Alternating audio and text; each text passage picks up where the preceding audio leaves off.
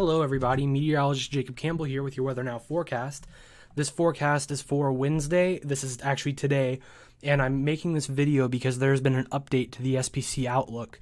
Currently, over about Tulsa, Oklahoma to around Columbia, Missouri, there is a marginal risk for, sorry, not a marginal, a moderate risk for severe storms.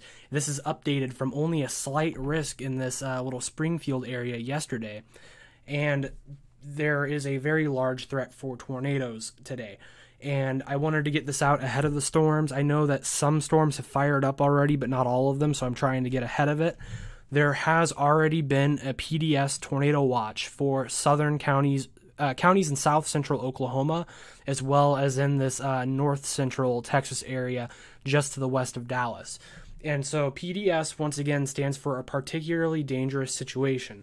I misspoke on my last video explaining what a PDS was, and uh, it actually stands for particularly dangerous situation. I said uh, potentially before, it is particular. Um, and so essentially, there is a 40 uh, is it? I believe there's a 45% chance of a tornado or a significant tornado happening uh, 25 miles of any given point within this Columbia to Tulsa area. And essentially, this is going over Joplin, Missouri, eight years to the day of the uh, you know famous Joplin tornado. And so this is not looking good for Joplin. Uh, they may get hit again. Uh, I can't give any guarantees that they will or won't, but they are in that moderate risk area. Then also there is a uh, enhanced risk around that stretching all the way from around Oklahoma City to about uh, just past St. Louis in the um, central, uh, almost said central Chicago, central Illinois area, and then a marginal risk stretching all the way from Iron Mountain, Michigan, all the way down to around um, Altus, uh, Oklahoma. And so, if you are in any of these risk areas, oh, also from about the Indiana Ohio border over to about Pittsburgh, uh, Pennsylvania, there is a marginal risk for severe storms. So if you live in these areas, you definitely need to take care today because this is, has the potential to be a, a large uh, system moving through. Going over to Thursday, uh, there has been an enhanced risk now issued for um, this New England East Coast area stretching from about the Oklahoma West Virginia border just south of Pittsburgh to around State College, Pennsylvania, all the way over to around Philadelphia, just north of Washington, D.C. And uh, in this area, it looks like hail is a big threat, and so is wind. Tornadoes aren't as large of a threat, but there is a threat for it there. Uh, that slight risk is still in effect for uh, Albany and west to around Columbus, Ohio. And that enhanced risk for severe storms is still there from about Wichita to Lubbock and uh, the slight risk from Kansas City down to uh, just south of Lubbock. And then also, Indiana and Illinois are now um, in that marginal risk for severe storm area as the storms uh, from Wednesday and Thursday will move through in the nighttime hours, potentially bringing some uh, severe weather for Indiana and uh, Illinois and I predicted this yesterday. It did end up happening, so I just wanted to confirm that. So, we're going to go over to the 500 millibar map. And so if we take a look at late tonight into uh, tomorrow, so this is around 7 p.m. Central Time, we do see that there is um, there are some winds in the area of about 50 to 60 miles, or sorry, 50 to 60 knots.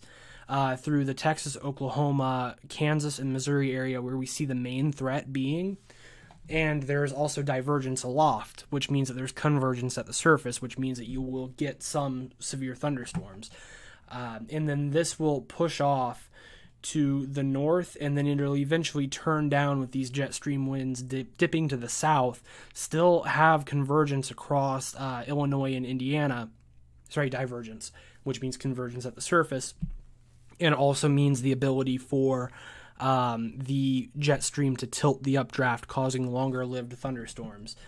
Now, moving into the actually, before I do that, I do want to go to the HRRR model and take a look at the uh, simulated radar because the HRRR is actually pretty good at this. So the HRRR is showing supercell activity popping up in around northeastern uh, Oklahoma and then pushing off into Missouri and Illinois as the night progresses, uh, eventually building up into a squall line that will push across Illinois and then enter Indiana at around uh, 5 a.m. Uh, tomorrow morning and will push across the state of Indiana into Ohio uh, until about 9 a.m. Eastern Daylight Time for them. Uh, and then there will still be thunderstorms in that Oklahoma, uh, Missouri area, as well as early in the morning tomorrow, those thunderstorms that are going to trigger the enhanced risk for severe storms will begin to pop up in the Texas, Oklahoma, and Kansas area uh, starting at around 9 a.m. You can also see that this system out here to the uh, to the east will begin to build up again as it pushes into Pennsylvania, triggering the enhanced risk in that area as well. Moving over to the, uh, this is the 180 millibar mixed layer uh, cape and shear. So the higher this value is, the more likely you are to have tornadic thunderstorms as well as uh, hail in thunderstorms, as well as supercell development in general. So starting at 18Z on Wednesday, which is about three, it's about two or three p.m. Eastern Daylight, or sorry, Central Daylight Time.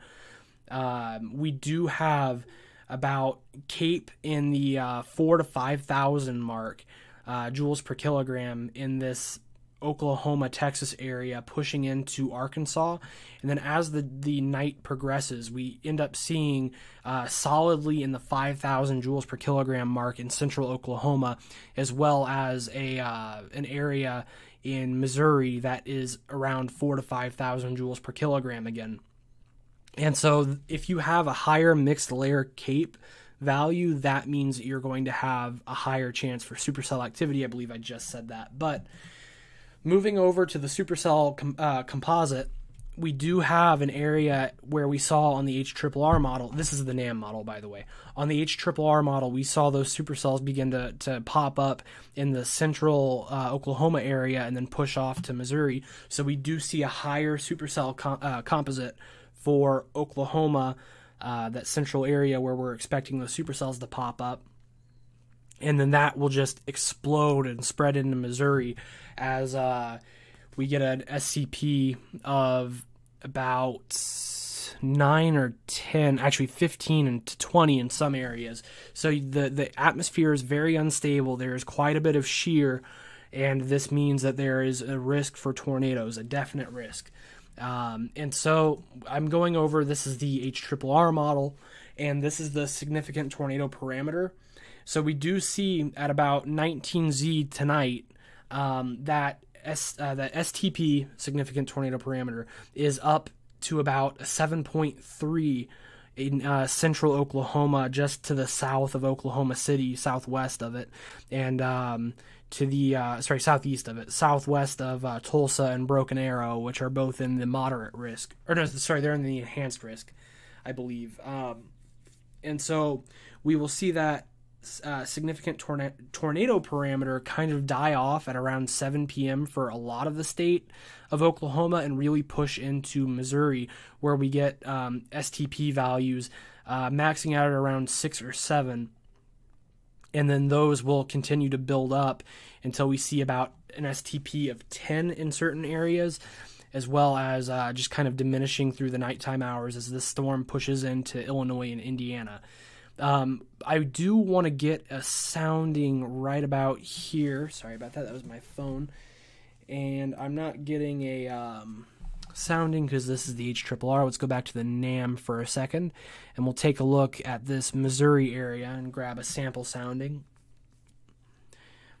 And so the potential hazard type is showing tornado.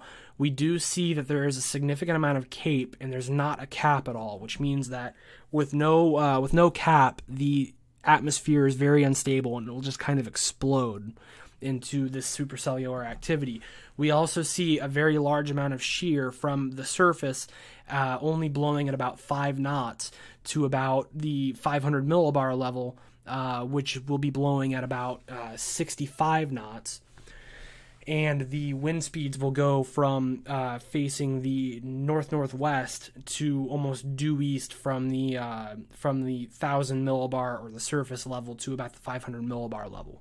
And so, due to all of that, as well as extremely high dew points in the 70s, and this hodograph showing not strong direction, or sorry, not strong speed shear at the surface, but it is showing directional shear with the uh, hodograph kind of moving to the right. This will be a tornado event.